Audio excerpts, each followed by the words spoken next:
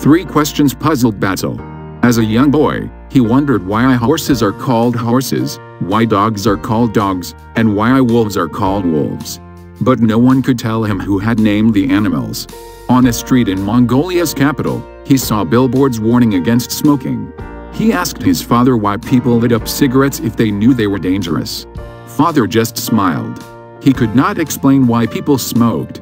The boy's thoughts turned to death when his father died of kidney failure. He wondered what happens next.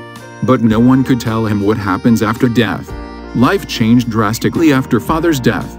16-year-old Batzul found a job at an outdoor market to help feed his mother and three younger siblings. He started smoking. One day, an elder sister called from South Korea, where she had moved, and suggested that Batzul go to church. She had started attending a church. Batzul was not a Christian, and he had never considered becoming a Christian. But he called the phone operator for help. Please give me the address, he said. She gave him an address, and he began to attend church services. Several months later, his sister asked whether he was going to church. She was pleased to hear that he was attending regularly. How do you find the time to go every Sunday? She asked. Sundays, he said. I go on Saturdays. His sister was shocked. Which church are you attending? She said. Batzul explained that he was going to a Seventh-day Adventist church. At church one Sabbath, someone gave him a book about giving up bad habits. As he read, he grew convinced that smoking was a sin.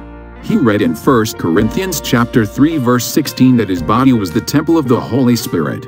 But he couldn't stop smoking. One day, at his family's home, he locked himself in a storage shed, pulled out a pack of cigarettes, and prayed desperately.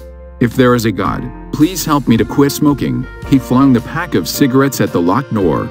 Taking a deep breath, he felt joy and peace flood over him. The next day, Batzul reached into his pocket for something and pulled out a cigarette lighter. He suddenly realized that he hadn't even thought about smoking for an entire day. He lost the desire to smoke. At the church, he pulled out the lighter and excitedly told the Bible study leader, I haven't used this lighter in four days, you have found Jesus, she said. Batzul began to study the Bible earnestly. In Genesis, he read that Adam had named the animals.